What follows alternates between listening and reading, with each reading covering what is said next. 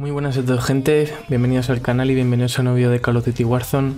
Y nada chicos, como siempre pues seguimos con, la, con los vídeos de las mejores clases y en este caso pues bueno, como no podía faltar la, la DMR cara como sabéis pues bueno es el, el mejor arma del juego y bueno, os voy a traer para que la aprovechéis rápido porque seguramente que la, nerfearán eh, la mejor clase en mi opinión, ¿vale? Y yo creo que es la que lleva la que llevan todos los pros que están haciendo récords mundiales y de todo con, con este arma, así que bueno, lo voy a enseñar rápidamente.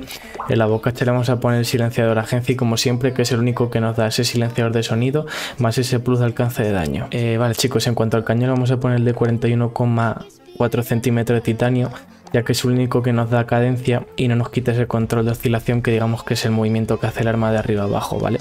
Y este que nos quita el control de tanto retroceso vertical como horizontal.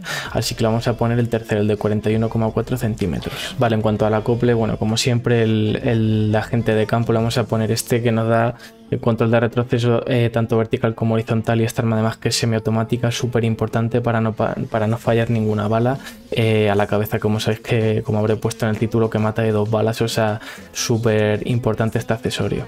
Vale, en cuanto al cargador vamos a ponerle el de 40 proyectiles, eh, tenéis dos opciones, o el cuarto o el último, ¿vale? Este creo que apunta un poquito más lento el arma, pero recarga más rápido, ¿vale? Así que el que queráis, o el de 40 proyectiles el Stanag o el rápido, el que vosotros queráis. Por último, chicos, en cuanto a la mira, pues bueno, eh, todos los pros, pues bueno, estoy viendo, estoy viendo que llevan la por 3, pero la por 2 va muy bien también. Eh, la House More también va muy bien, eh, la que queréis, ¿vale? Pero yo creo que la más cómoda es la, la por 3 porque no tiene tanto zoom, pero tiene un poquito de zoom que para dar con este arma desde lejos, pues viene genial. Así que bueno, esta ha sido la clase, chicos, espero que os haya gustado y como siempre, si así, dejar un like en comentarios, cualquier cosa, que contesto a todo y para no perderos ningún vídeo. Así que nos vemos chicos. Adiós.